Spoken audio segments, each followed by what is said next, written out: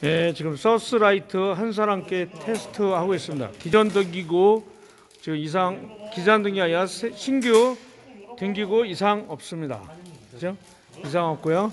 그다음에 요거 RGBW 기존 등기고 이상 없습니다.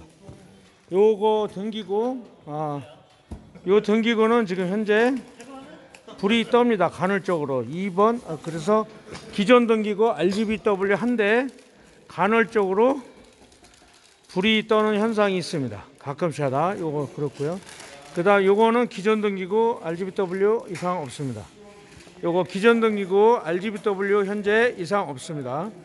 RGBW 기존 등기고 이상 없습니다. RGBW 기존 등기고 이상 없고요. RGBW 기존 등기고 이상 없습니다. 그 다음에 이 등기구는 220 플러그 선이 빠져가지고 아까 전원이 안 들어왔는데 어, 다시 플러그 작업해서 이상 없이 전부 다 작동이 됩니다. 이상 없습니다. 예, 이상 없습니다.